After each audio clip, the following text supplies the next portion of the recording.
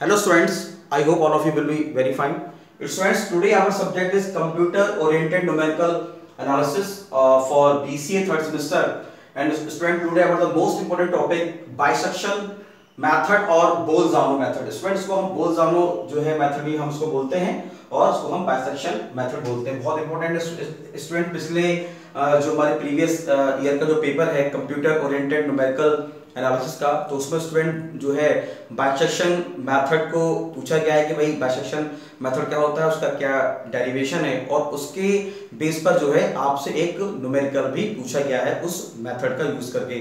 Okay students तो आज की इस क्लास में जो है, हम स्टूडेंट जो है बाइसेक्शन मेथड को डिस्कस करने जा रहे हैं। स्टूडेंट इससे पहले जो है, हमने कंप्यूटर ओरिएंटेड न्यूमेरिकल एनालिसिस में हमने जो है स्टूडेंट्स फ्लोटिंग पॉइंट नंबर्स क्या होते हैं? फ्लोटिंग पॉइंट नंबर को हम कैसे रिप्रेजेंट करते हैं? ठीक है ना? ये हमने सीखा, ये हमने यूट्यूब पर ऑनलाइन कंप्लीट किया। तो स्टूडेंट इसके ही सीक्वेंस में हमारा जो है अब है बाइसेक्शन मेथड इसको हम स्टूडेंट समझने की कोशिश करते हैं। ओके स्टूडेंट्स स्टूडेंट देखिए, जैसे कि हमने देखा है स्टूडेंट्स आपने जो है मैथ्स में क्वाड्रेटिक इक्वेशन आपने मतलब पढ़ी होंगी जो कि a x square plus b x plus c a x square plus b x plus c के फॉर्मेट में ये स्टूडेंट्स इक्वेशंस आपकी होती हैं। और हम फिर क्या करते हैं स्टूडेंट इसके जो है, वो हम, जो है, क्या नाम है, हम रूट्स को हम फाइंड आउट करते हैं कि मतलब कि इसमें जो इसका जो डिस्क उसकी जो डिस्क्रिमिनेंट है, यानी b square minus four a c वो हम निकालते हैं। और जो है हम जो है, क्या नाम है इसके alpha plus beta alpha into beta ऐसे करके जो है हम इसके रूट्स को मतलब ये जो हमारी इक्वेशन है, ये जो हमारा मतलब जो फ़ंक्शन है, ये हमारा किस रूट्स के बीच में लाई करता है, इसको जो है हम निकालते तो कहने मतलब ये है कि यानी कि ऐसी इक्वेशंस जो आपकी, जैसे इसमें स्टूडेंट लिखा हुआ है कि consider the equation of the form जैसे मान लो ये form fx is equal to zero यानी जो भी कोई फ़ंक्शन की इक्वेशन हो, fx is equal to zero if fx is a quadratic मतलब fx जो है, वो हमारा क्वाड्रेटिक मतलब एक मतलब क्वाड्रेटिक के फॉर्मेट में वो लिखा भी है कि इफ़ fx यानी फ़ंक्शन जो है इज़ ए क्वाड्रेटिक क्यूबिक और बाई क्वाड्रेटिक ठीक है? या तो वो क्वाड्रेटिक हो क्यूबिक हो, या बाई क्वाड्रेटिक एक्सप्रेशन में हो then algebraic formula are available then algebraic formula are available for expressing the roots तो उसके लिए स्टूडेंट्स जो है, हमारे पास फार्मूला है जो हमारा स्टूडेंट आपने जो है श्री धराचार्य फार्मूला पढ़ा होगा। is equal to minus b plus minus under root under root under root v square minus 4ac upon 2a तो स्टूडेंट्स उससे जो है, वो हम, क्या नाम है रूट्स को हम फाइंड आउट कर सकते हैं रूट्स का मल्टीप्लाई निकाल सकते हैं रूट का एडिशन निकाल सकते हैं। मतलब वो रूट्स को फाइंड आउट करने का फॉर्मूला है, अगर हमारी क्वाड्रेटिक क्यूबिक और बाई क्वाड्रेटिक इक्वेशन होगी। बट अब क्या है?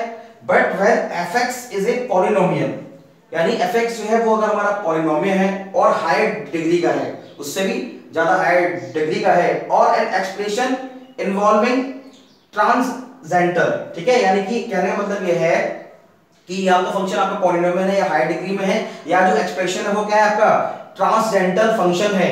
जैसे कि सपोज़ दैट देखो ट्रांसजेंटल फ़ंक्शन का मतलब ये है 1 plus cos x minus 5x for example या x tan x minus cos x या e की power x minus sin x ठीक है? अगर इस फॉर्मेट में अगर मान लो आपकी इक्वेशन गिवन है, ये आपकी पॉलिनोमियल्स भी हैं और हाइट डिग्री की भी हैं और ये जो है हमारी ट्रांसेंडल फ़ंक्शंस कहलाते हैं। ट्रांसेंडल फ़ंक्शन की ये इक्वेशन तो इस प्रकार की जो इक्वेशन है, इसके अगर मान लो हमें अगर रूट फाइंड आउट करने हैं कि ये जो फ़ंक्शन है, वो किस रूट्स के बीच में हमारा लाई कर रहा है तो ये निकालना। तो इसके लिए हमारे पास कोई मेथड अवेलेबल नहीं है। लिखा भी है। कि algebraic methods are not available ठीक है? फिर तो this method is based on the उसके लिए फिर हमने स्टूडेंट्स क्या किया? इसी के लिए, यानी इस टाइप की जो इक्वेशन है, इस टाइप के इक्वेशंस को मतलब जो है, हम चाहते हैं कि मतलब हम एक, हम मतलब कुछ ऐसे मेथड्स हम अप्लाई करें, जिससे मतलब जो है कि ये जो जो भी हमारा फ़ंक्शन है, यानी कि वो हमारा पॉलिनोमियल है, या हाई डिग्री का है, या ट्रांसजेंडर फ़ंक्शन है तो हम इसके लिए रूट्स को कैसे फाइंड आउट करेंगे? तो इसके लिए स्टूडेंट हम यूज़ करते हैं बाइसेक्शन मेथड इसके बाद फिर हमारा रेगुलर फॉल्सी भी है फिर हमारा न्यूटन रेविजन भी है। तो इस चूँकि चैप्टर में हम जो है अभी इस लेक्चर में हम बाइसेक्शन मेथड की बात करेंगे। तो हम स्टूडेंट्स क्या करेंगे? हम स्पेस मान लो कोई फ़ंक्शन है उस फ़ंक्शंस को जो है हम आ, क्या नाम है कुछ वैल्यूज़ पर हम लेंगे। मान लो सपोज़ दैट हमने कुछ वैल्यूज़ ले ली शुरू में मान लो हमने वन ले लिया टू ले लिया और हमने इन पर चेक करा हमने फ़ंक्शन को चेक करा कि भाई मतलब किन वैल्यूज़ पे फ़ंक्शन की वैल्यू नेगेटिव है और किन वैल्यूज़ पे फ़ंक्शन की वैल्यू जो है वो पॉजिटिव है? तो यानी कि कहने मतलब ये है कि हमने सपोज़ दैट मान लो कि भाई हमने एक, हमने जो है ए एक, हमने एक नंबर ले लिया ए और बी और इन और इन नंबर्स पे जो है वो फ़ंक्शन की वैल्यू एक पर नेगेटिव है, एक पे पॉजिटिव है। तो हमारा पहला जो अप्रोक्सीमेशन हो गया x1 is equal to a plus b upon two ठीक है? ये हमारा पहला अप्रोक्सीमेशन हो गया। और फिर इस मान लो, फिर हमने, यानी हमारा एफ़ एक्स वन आ गया। अब हम क्या करेंगे, जो हमारा x1 आया है, इसी x1 पे फिर हम फ़ंक्शन की वैल्यू को चेक करेंगे कि फ़ंक्शन जो हमारा नेगेटिव है या पॉजिटिव है। सपोज़ हम अगर मान लो हमारा फ़ंक्शन अगर नेगेटिव है तो जो दो हमने ए और बी जो माने थे, उस पे अगर जो निगेटिव होगा तो उस निगेटिव को हम छोड़ देंगे। वहाँ से हम प्लस को, और ये जो एक्स वन है नेगेटिव इसको हम लेंगे, और फिर हम जो है रूट्स को जो है, फिर हम उसको, हम जो है क्या नाम है, उसको हम डिवाइड करेंगे। और फिर ऐसे ही करके स्टूडेंट हमारा ये प्रोसेस चलता रहेगा चलता रहेगा, जब तक हम जो है इसको एक्यूरेसी यानी कि जो एक हमारी जो डिजायर्ड एक्यूरेसी है, उस तक हम नहीं पहुँच जाते। मतलब कहने मतलब ये है कि ये अप्रोक्सीमेशन हम स्टूडेंट जब हम निकालते जाएँगे तो एक टाइम ऐसा आएगा कि मतलब दो या तीन अप्रोक्सीमेशन की जो वैल्यू है, वो क्या आएँगी? हमारी इक्वल आएँगी डेसिमल के फोर मतलब जो भी है ट्रू मतलब फोर प्लेसेस तक फाइव प्लेसेस तक तो वो हमारा जो है, वो हमारा सही आंसर माना जाएगा। ठीक है? तो स्टूडेंट आइए हम इस मेथड को समझने की कोशिश करते हैं। स्टूडेंट ये हमने स्टूडेंट एक्स एक्सेस और वाई एक्सेस हमने लिया। ये हमारा ज़ीरो है और ये स्टूडेंट हमारा फ़ंक्शन है y equal to f x ठीक है ना? तो अब देखो स्टूडेंट इसमें आप देखिए कि इसमें हमारा मान लो एक हमारा पॉइंट ए हो गया फ़ंक्शन ए पे ए हो गया और ये हमारा बी पॉइंट पे फ़ंक्शन बी हमने यहाँ लिख दिया। तो इसका मतलब यहाँ ये पॉजिटिव है, यहाँ ये नेगेटिव है। ऐसे ही फिर हमने और भी पार्ट लिए, हमने अप्रोक्सीमेशन लिए x1 लिए x3 लिए तो जो हमारे ऊपर के हैं, ये पॉजिटिव है, नीचे हमारा फ़ंक्शन क्या है, हमारा नेगेटिव को शो कर रहा है। मतलब कितने पे हमारी मतलब किन वैल्यूज़ पे फ़ंक्शन हमारा नेगेटिव है और कितनी वैल्यूज़ पे हमारा फ़ंक्शन जो है मतलब पॉजिटिव है। तो देखिए यहाँ पे स्टूडेंट ए पे जो है हमारा नेगेटिव है एफ़ भी हमारा पॉजिटिव है। फिर दो हमने यहाँ पे एक्स ले दिए यहाँ पे हमारा x3 है x1 है। तो इस तरीके से मतलब हम इन सबको मतलब जो है निकालते जाएँगे। ठीक है? तो आइए इस तरह इस मेथड को समझने की कोशिश करते हैं। This method is based on the repeated application of intermediate value property मतलब ये जो मेथड है, हमारा परसेप्शन मेथड है, ये रिपीटेड एप्लीकेशन पे है। इंटरमीडिएट यानी कि हम क्या करते हैं, हम बिटवीन यानी कि मिडिल वैल्यू को हम जो है कंसीडर करते चले जाते हैं। तो जैसे सपोज़ दैट हम समझते हैं लेट द फ़ंक्शन एफ़ हमारा एक फ़ंक्शन एफ़ है, जो कि a और b के बीच में लाई कर रहा है। लिखा है let the function f b continuous between a and b, जो a और b के बीच में लाई कर रहा है। और फिर हमने फिर निकाला फॉर d फाइनाइटनेस हमने इसकी मतलब जो है हमने वैल्यू निकाली for d finiteness let f a यानी एफ़ ए यानी एक भी कोई एक नंबर है पॉइंट है जिसपे हमने फ़ंक्शन में वो पॉइंट रखा और फ़ंक्शन की वैल्यू क्या आ गई? हमारी स्टूडेंट्स नेगेटिव आ गई। ये नेगेटिव है माइनस का साइन है वी फॉर नेगेटिव और एफ़ वी में मान लो क्या आ गई? पॉजिटिव आ गई। तो मतलब क्या हो गया? यानी कि हमारा जो फ़ंक्शन जो है वो एफ़ और बी पे लाई कर रहा है तो हमारा पहला अप्रोक्सीमेशन क्या हो गया? Then first approximation to the root is x1 is equal to 1 upon 2 a plus b. ठीक है? मतलब क्या करेंगे कि जो भी हमारे ए और बी जो रूट्स आए हैं, जिन पे हमारा एक एक पे फ़ंक्शन हमारा जो है नेगेटिव आ रहा है, दूसरे पॉजिटिव आ रहा है तो दोनों को जोड़ेंगे और टू से हम क्या कर देंगे, उसको डिवाइड कर देंगे। तो ये हमारा पहला अप्रोक्सीमेशन हो गया। ये हमारा क्या हो गया? पहला अप्रोक्सीमेशन इसके बाद स्टूडेंट कहाँ से आना है आपको? फिर आपको स्टूडेंट यहाँ से आना है। इफ़ यहाँ से। यहाँ से जरा समझने की कोशिश कीजिए। If fx1 is equal to 0 मान लो सपोज़ दैट स्टूडेंट्स मान लो हमारा fx1 मान लो 0 हो गया। मान लो ये इसमें आने के बाद इसकी मतलब की वैल्यू नहीं आई। मान लो हमारा fx1 जो है, वो हमारा हमारा जो भी इसका पॉइंट आया मिडिल वैल्यू आई, जो भी फ़र्स्ट अप्रोक्सीमेशन x1 आई, और उस x1 को फिर हमने फ़ंक्शन में रखा, और फ़ंक्शन हमारा ज़ीरो आ गया। तो क्या होगा then x1 is a root of तो ज़ाहिर सी बात है फ़ंक्शन मतलब उस वैल्यू पर रखने पे कोई फ़ंक्शन ज़ीरो आ रहा तो ज़ाहिर सी बात है वो उसका एक रूट होगा। लेकिन अगर ज़ीरो नहीं है अगर ज़ीरो नहीं है, मान लो x1 is a root of otherwise root नहीं है तो फिर क्या करेंगे? The root lies between ax1 और x1b यानी कहने का मतलब क्या है? कि रूट जो है वो हमारा, यानी कि या तो इन दोनों में से अगर मान लो सपोज़ दैट अगर मान लो भाई हमारा जो, अगर मान लो सपोज़ दैट अगर मान लो हमारा जो है पॉजिटिव है तो जो है, और इस फ़ंक्शन पे, यानी कि जो हमारा ये x1 है x1 पे रखने पे अगर मान लो हमारा पॉजिटिव आएगा, अगर मान लो a पे पॉजिटिव आता तो या तो उसके रूट्स a एंड x1 होंगे, या x1 या b होंगे, वो डिपेंड करेगा कि किस पे पॉजिटिव आ रहा है, किस पे नेगेटिव आ रहा है। यदि मान लो सपोज़ दैट x1 अगर मान लो पॉजिटिव होगा, मान लो अगर x1 पॉजिटिव होगा तो रूट हमारे a और x1 होंगे, और x1 अगर मान लो हमारा नेगेटिव होगा तो हमारे रूट x1 और b होंगे। ठीक है स्टेफन हम आगे। Then we bisect the interval as before and continue the process until the root found desired accuracy क्या करेंगे? Then we bisect the interval फिर हम इन इंटरवल को बाइसेक्ट करेंगे और उसको कंटिन्यू करेंगे इस प्रोसेस को जब तक हम जो हमारी डिजायर्ड एक्यूरेसी है, वहाँ तक हम नहीं पहुँच जाते। Then we bisect the interval as before and continue the process until the root found desired accuracy ठीक है? तो ये जो जो चीज़ है स्टूडेंट्स इसको मैंने यहाँ पे लिख के मैंने बताया है, आप जरा इसको समझने की कोशिश कीजिए। जैसे सपोज़ दैट हमारा fx1 यानी कि ये जो fx1 आया, मान लो, अब सपोज़ दैट हमारा fx1 पे हमारा मान लो पॉजिटिव आ गया। पहले हमने a और बी लिए, a और b पे हमने निकाला, एक पे प्लस आया, एक पे नेगेटिव आया। फिर जो हमारे a और b आए, इन दोनों को हमने जोड़ा, दो से भाग किया, जो भी हमारा x1 आया। अब इस x1 को फिर हमने फ़ंक्शन में, जो फ़ंक्शन है, उसमें रख के देखा तो हमारा फ़ंक्शन क्या आया? हमारा फ़ंक्शन पॉजिटिव आ गया। हमारा फ़ंक्शन क्या आ गया? पॉजिटिव आ गया। तो अब हम ये देखेंगे कि पहले किस पे पॉजिटिव था? तो पहले बी पे पॉजिटिव था। तो बी को छोड़ देंगे। यानी कि हमारा जो है, वो ए और x1 के बीच में हमारा जो है रूट लाई करेगा।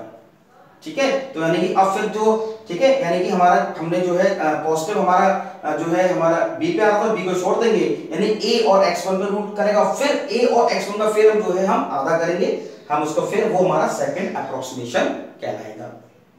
ठीक है? वो हमारा सेकंड अप्रोक्सीमेशन कहलाएगा। अगर मान लो सपोज़ दैट स्टूडेंट यहाँ पे मान लो हमारा अगर मान लो ये, अगर अगर मान लो नेगेटिव होता, अगर मान लो x1 हमारा नेगेटिव होता तो जो है तो फिर हम a को नहीं लेते, हम किसको लेते? हम फिर जो है, यहाँ स्टूडेंट हमारा b आ जाता। ठीक है? सही है? क्योंकि फिर हम नेगेटिव वाले को फिर हम छोड़ देते मतलब कहने का जो पहले आ चुका है, उसको हम उससे रिप्लेस कर देंगे। फिर ठीक है, चलो, अब देखो हमारा x2 आ गया। X2 जो भी आया, अब x2 पे फिर हमने रख के देखा तो अब क्या हुआ? X2 पे को फिर हमने a1 और x1 को ले लिया, इसको हमने आधा किया, फिर हम x2 पर आ गए, ठीक है? अब हमने क्या किया स्टूडेंट x2 पे हमने फ़ंक्शन में जब हमने x2 को रखा तो देखा हमारा फ़ंक्शन जो क्या आ गया? नेगेटिव आ गया, ठीक है ना? ठीक है, हमारा फ़ंक्शन क्या आ गया? नेगेटिव आ गया तो इससे पहले जो हमारा जिसपे भी हमारा नेगेटिव था, ठीक है ना? उसको जो है हम छोड़ देंगे यानी कि इस पे हमारा नेगेटिव किस पे था? नेगेटिव हमारा ए पे था और इस पे तो हमारा पॉजिटिव है ही है। तो हमारे रूट हो जाएँगे x1 एंड x2 ठीक है ना? क्योंकि भाई x2 पे तो हमारा नेगेटिव आ गया।